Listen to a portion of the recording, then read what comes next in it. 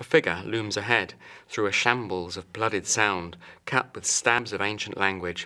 It's a kind of hooded death, with a voice of charred black glowing red, and a yellow light glowing in its eyes demon fashion. A music of Satan arises in a black burst of hissing fire and flames of blood.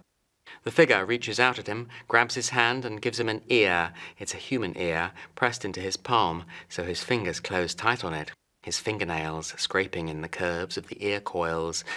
A dog barks, far across the canyon from this window. The emergent code and its scorpionic bestiary are rising up with force behind the plastic surface of Jaymi's screen, as if they are pressing against the glass of an aquarium. And on down the tunnel slithers Scorpio's code, from the prison to the Hollywood Hills, ever nearer, a piece of luscious darkness on its way to being flesh.